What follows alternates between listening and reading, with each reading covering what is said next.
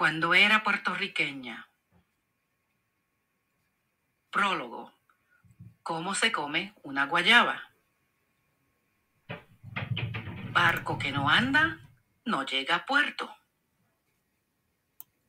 Venden guayabas en el Shop and Save.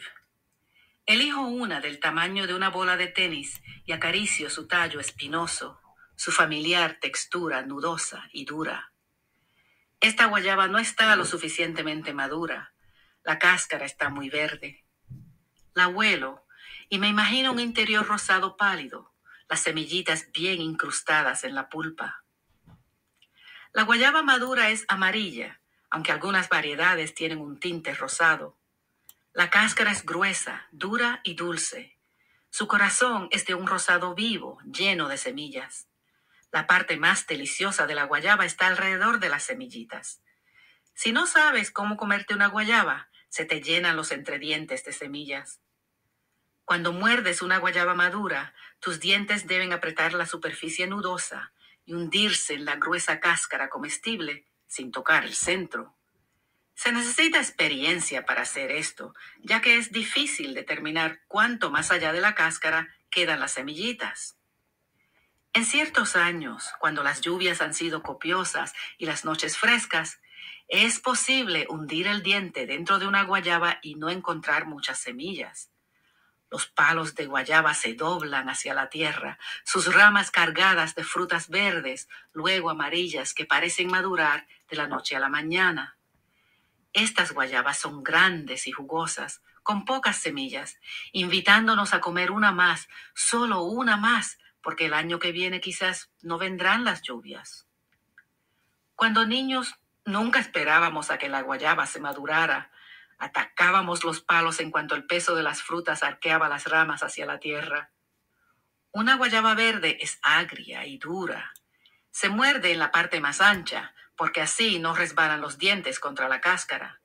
Al hincar el diente dentro de una guayaba verde, Oirás la cáscara, pulpa y semillitas crujiendo dentro de tu cerebro y chorritos agrios estallarán en tu boca. Descoyuntarás tu faz en muecas, lagrimearán tus ojos, tus mejillas desaparecerán, a la vez que tus labios se fruncirán en una ¡Uh! Pero te comes otra y luego otra más, deleitándote en el sonido crujiente, el sabor ácido, la sensación arenosa del centro a.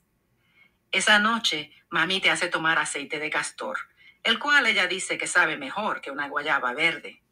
Entonces sabes de seguro que tú eres niña y que ella ya dejó de serlo. Comí mi última guayaba el día que nos fuimos de Puerto Rico. Era una guayaba grande, jugosa, la pulpa casi roja, de olor tan intenso que no me la quería comer, por no perder el aroma que quizás jamás volvería a capturar.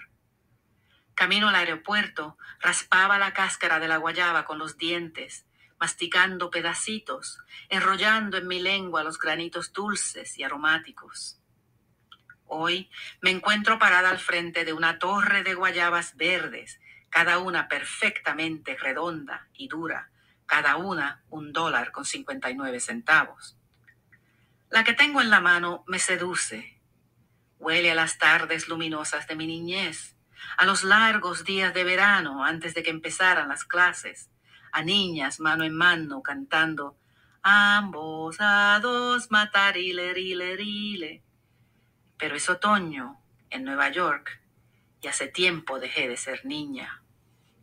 Devuelvo la guayaba al abrazo de sus hermanas bajo las penetrantes luces fluorescentes del mostrador decorado con frutas exóticas.